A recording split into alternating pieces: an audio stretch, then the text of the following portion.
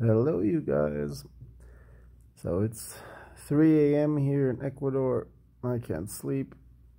I haven't been sleeping well for a while now. Uh, actually, ever since I got back from my last vacation. Um, just a lot of things going through my head. Some of them are personal, so I'm not really going to get into that part. Some of them are, of course, external, just um, some another aspect of my own personality that I honestly say that I I have to honestly say I don't like about myself is um, I'm definitely somebody who takes things very much to heart and I brood, brood, brood over topics and thoughts a lot. Maybe that's Mm. Yeah. And I don't know, I think a lot of people have the ability, or more so the ability to shut out what is happening in the world. Actually, I know for a fact that most people do. And uh, that's something that I personally can't when things happen, even if they don't directly impact me per se, you know, I already in my head start going like, okay, what are going to be the consequences of this in the long run? I think again, this is one of the reasons why those of you who might have watched more than a handful of my videos already know and seen that over the years I've become increasingly frustrated in a lot of my videos because a lot of the talking points in the news, in the media, in the in the politics, I've already anticipated them occurring as they do. And so I I get like pre frustrated for things that haven't actually even occurred yet, but there's a good chance that they will. And um, so like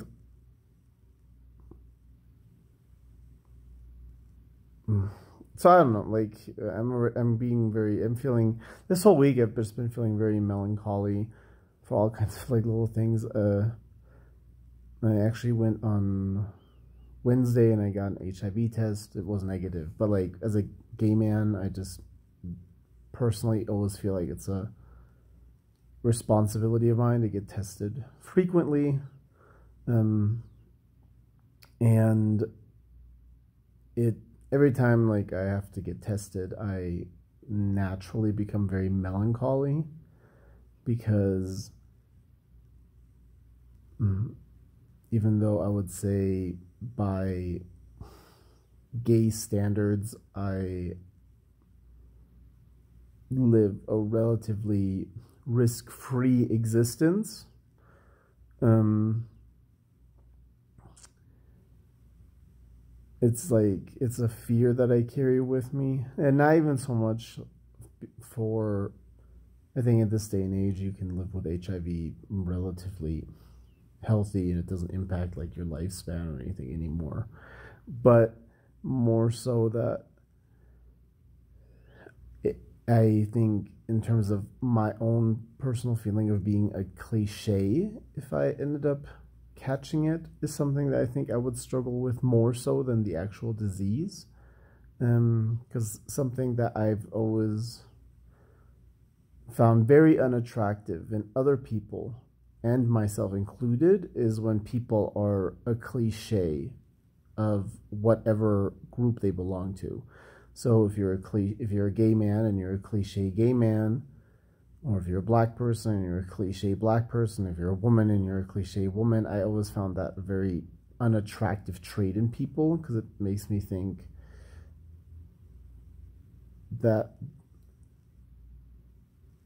these people are caricatures, maybe. I don't know. And that's just something I personally have never wanted to be. Um, so that, and then, you know, of course, for those of you guys who watch the news, you know about this about the shootings in the U.S. again, and you know the the news has become so divisive as well and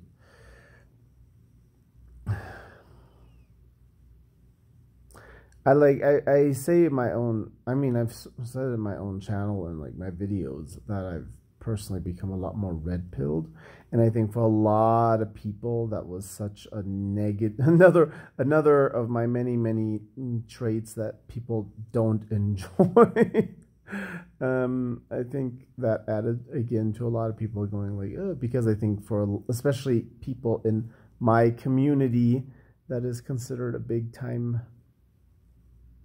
backstabbing because if you're gay, you have to be a Democrat. If you're gay, you have to be left. Like it's it's it's it's another one of those requirements of signing the LGBTQ seventy seven F minus sign up down ampersand community is there's this unwritten contract that you have to be left.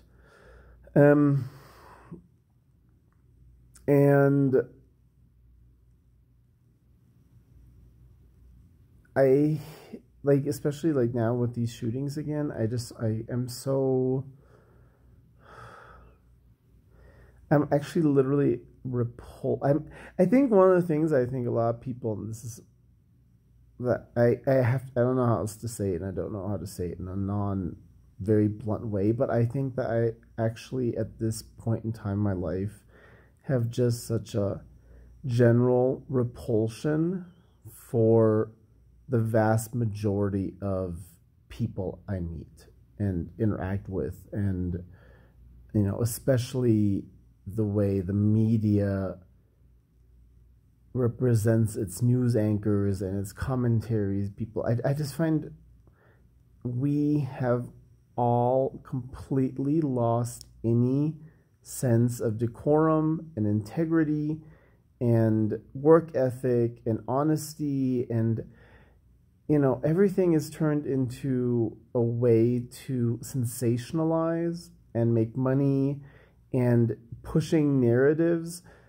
And I think this is something where also on YouTube, I've always been very frustrated when I look at counterpoints to myself on YouTube and how much of it I think is not even them really saying what is the truth what is really what their belief is, their honest opinions. It's all just sensationalism to, you know, get clicks and to get likes and to get subscribers. And it's and the the nonstop, you know, you have to come to me if you want real news coverage. You have to come to me and you make sure to click my like button. Make sure to subscribe. Make sure to, you know. And by the way, here's our sponsor.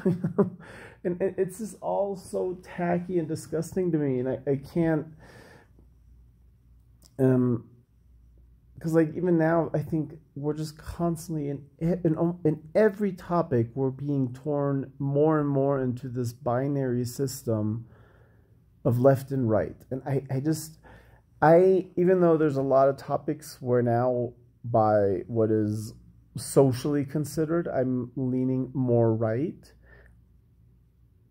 i i just find it so disingenuous because i I do watch left leaning pundits and right leaning pundits, and it's like now the right leaning pundits again are, co- of course, right away are going into this super defensive stance of, you know, you know, this would have happened even if we didn't have these kind of gun laws. This would have happened, and of course, the left right away is like, this is all because of the right. This is all because of the people, the Republicans and their stupid gun laws, and they're and they're wanting to have gun laws. And I'm kind, of, and the thing is, I find this so disingenuous to what is actually happening in the world because I'm like, you know what?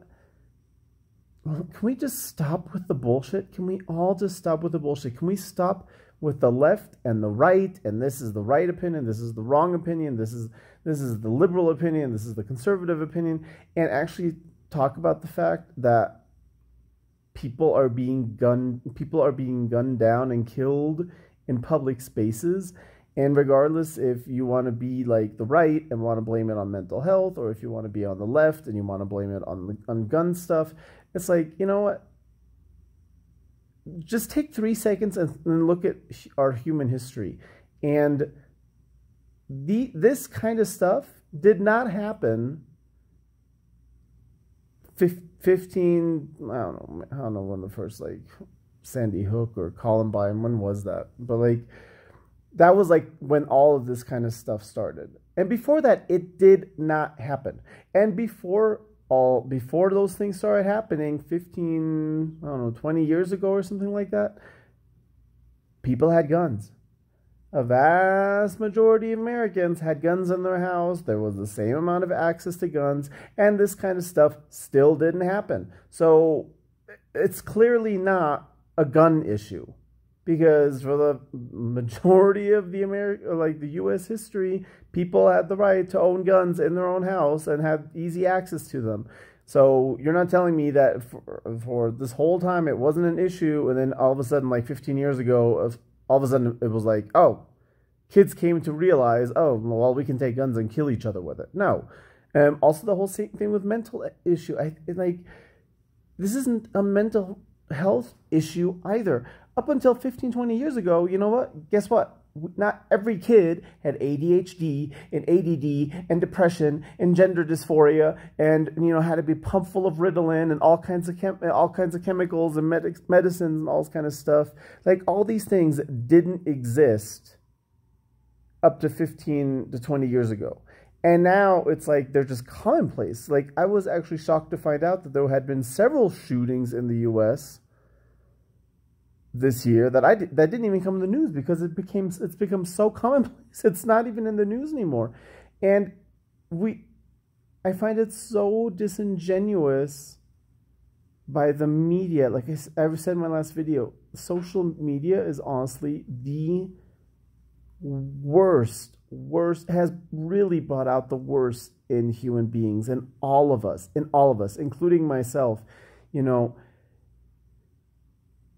because I even this week on Facebook, like the one platform I still have, and even that I shouldn't have anymore. You know, it's so easy to see like a little five second video that somebody has edited in such a way to you know, get a certain emotional reaction out of people. And of course, people comment, and then, you know, I'll comment on something, and then it really quickly turns into really mean commentary and name calling. And it's like yeah if you've met if you met this person in real life you probably would never talk to each other that way. Like everything about social media is set up to give us disinformation, to be disingenuous, to cause us to become more and more stuck in our own way of thinking, to actually hurt communication. We're constantly thinking that it's opening communication, but it's not because people don't interact with each other in real life as they do when they can anonymously be a keyboard warrior at home and be like, well, I can write whatever I want, and this person can't do anything to me. And like, it's really brought out the worst in people. And just now this coverage again with with the shooting, and I'm kind of like, no, what we really need to look at is how both the left and the right have completely, completely messed up the millennials and Gen Z by just pumping these generations full with all of the wrong messaging that you could possibly do. Consumerism, narcissism, selfishness, the ego, you know, just just every bad characteristic that we could have encouraged we've encouraged in these last two generations. And you and we can see now what's happening because of it. Like these kids young adults are completely lost in this world. I mean, they they they they have absolutely no self-esteem, they have no work ethic, they have no integrity. I always get back to integrity because that's the thing that bothers me the most that's been lost in the world. You know, um, all of them want to become YouTubers or they want to be on like some reality show and you know it's all about like I fucked my six neighbors. I don't know which one the daddy is. Let's find out on this this year's episode of Big Slutty Neighbor fucking I, I eat cockroaches for money, you know, episodes. Blah, blah. Like, it's just, you know, and try to get as many likes and subscribers as you can, you know, it, it just, and all the social influence, like, just, they're being pumped full of every, all of these forms of this need for attention, this need for constant affirmation, this this constant need for validation, like, and actually within themselves are completely hollow because we haven't taught them to be like, hey, life is hard and you have to learn to actually really love yourself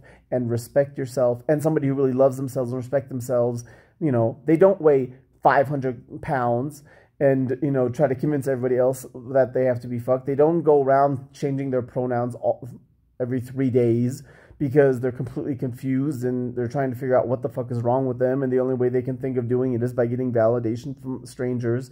You know, um, they people who have a healthy sense of self and aren't pumped full of all these chemicals and drugs that the big pharma is pushing on you.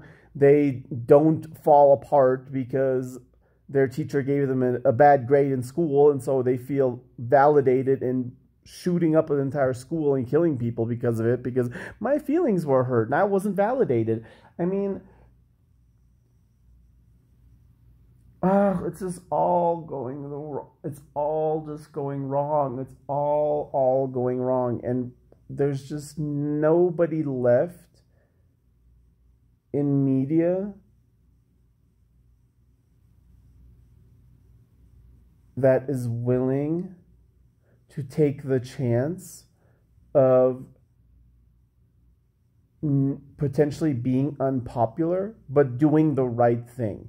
But doing the right thing and actually saying, look, let's just all stop with the BS. Let's just all stop about, I need a million sponsors so I can go and, you know, tell everybody else we need to push socialism, but behind their backs, I go and buy $6 million mansions and go on all these vacations you know like just just somebody who like actually legitimately cares about humanity and the direction we're going. And none of these people i feel like do. Because it's all about just saying the things that they know they're con- the people that watch them and follow them want to hear so that they can get more likes so they can get more looks you know every story is sensationalized like crazy just to get more likes and to get more looks.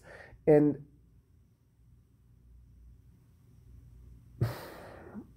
very very few hu- it's just it's just something that is really lacking in humans is very few of us are willing to do the hard work and the research ourselves and do any of the thinking ourselves.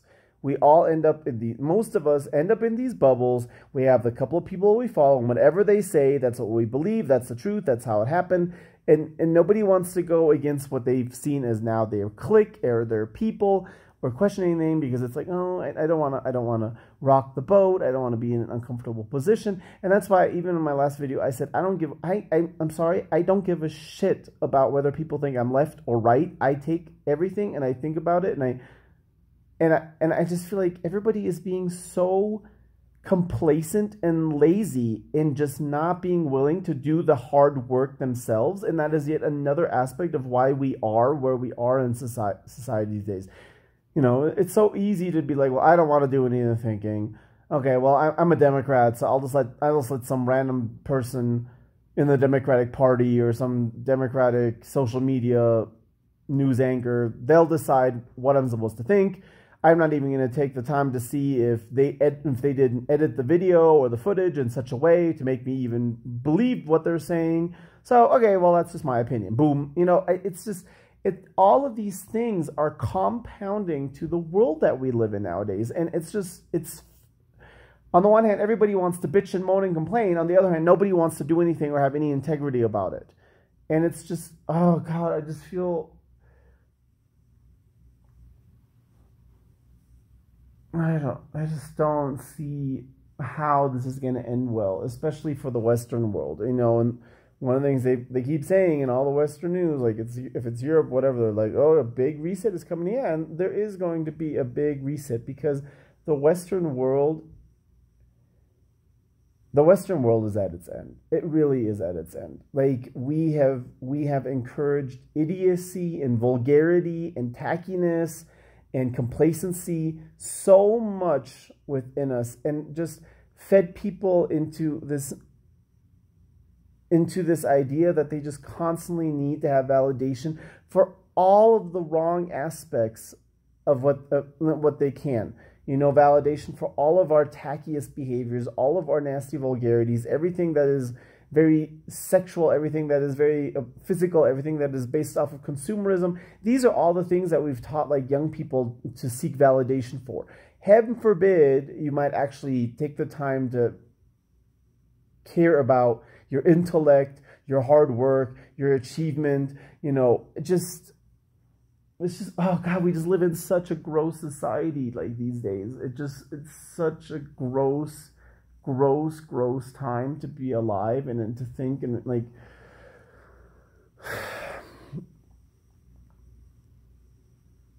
and that's why I said in the very beginning of this video, it like it frust like I I I I I wish so like I you guys don't even know how many times I wish I could just be one of those people. Just yeah just be one of these sheep just be one of these sheep and just literally I go to bed at night and I watch my stupid reality TV show and I'm like okay and I get my stupid laughs off of somebody you know bragging about like I fucked 16 men and I don't know who the daddy is. Ha ha. Just be like, "Oh, that's hilarious."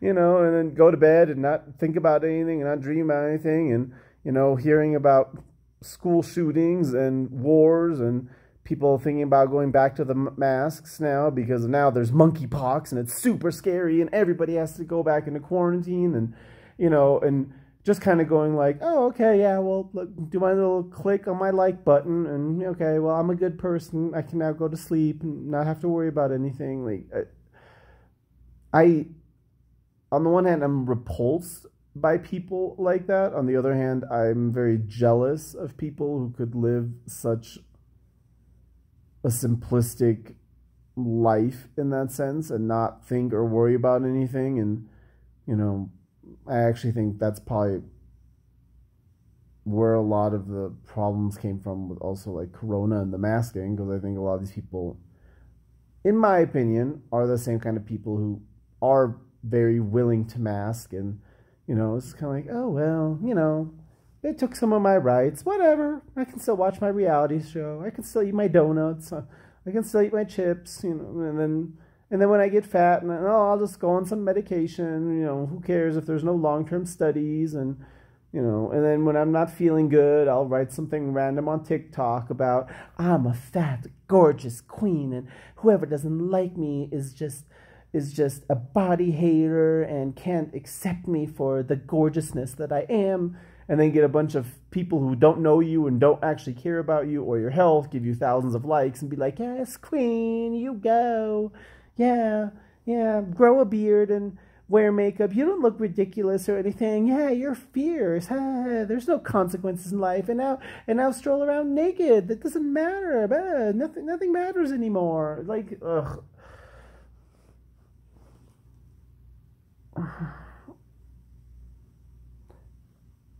I sometimes just wish I could stop caring. I wish, I really wish I could just stop caring. It's like, I don't see the point why I do care. What has it gotten me? What has it gotten me to care? What has it gotten me to actually, yeah, spend nights not being able to sleep because I'm worried about what's going to happen with our society and actually legitimately caring about people's long term health and well being and the outcome of society. Like, what has it got me? It's gotten me mm, vastly dislikes from people negative negative feedback because I'm supposedly so unkind and unfriendly. Um, pretty much becoming completely ostracized from the gay community. Um, you know, shadow banned on YouTube, kicked off of like two gay dating sites, kicked out of gay dating groups. Um, my I'm probably already on my second strike on Facebook. I mean, like I, I, I don't even know why I'm doing it. What what like you know this and this is I'm very close to feeling again how I did a couple of years ago when I actually stopped YouTube because I, it, it's I'm back to now that point where I just feel like it's all completely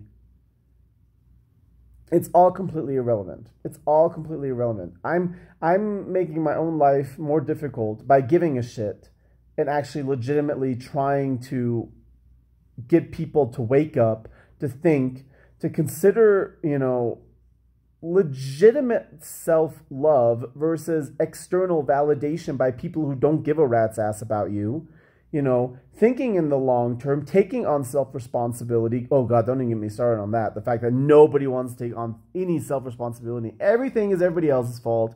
I'm the perpetual victim. Everything is everybody else's fault. Another thing that we've really put into the minds of millennials and Gen Z, which I think is such a disgusting thing for our society to put on these young people. And now they are going to go through life constantly and always thinking of themselves as a perpetual victim which is part of the reason why they crave this external validation all the time because they legitimately think complete shit of themselves.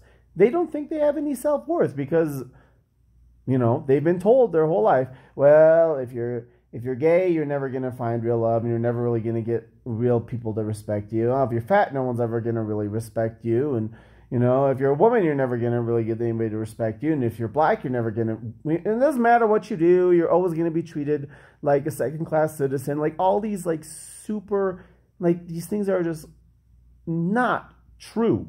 If you put in the work and you put in the effort and you show the integrity, like, you will get the internal feeling of knowing that you did the right thing. And that is that is going to give you so much more self-worth in the long run than this stupid validation for all of the flaws that you that we've now told everybody oh yeah bring all of your flaws and all of your worst behaviors out into public. Like you should be proud of everything that you do that is tacky and gross. It's like because heaven forbid we can't shame people for anything anymore. This is this this ridiculous world we live in now. Uh, I'm so, I'm so tired, you guys. Tired, but I can't sleep. That's how I feel.